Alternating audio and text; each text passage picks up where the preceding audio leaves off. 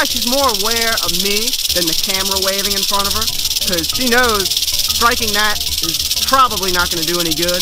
She will try to strike at me, though. If I'm close enough, she will go.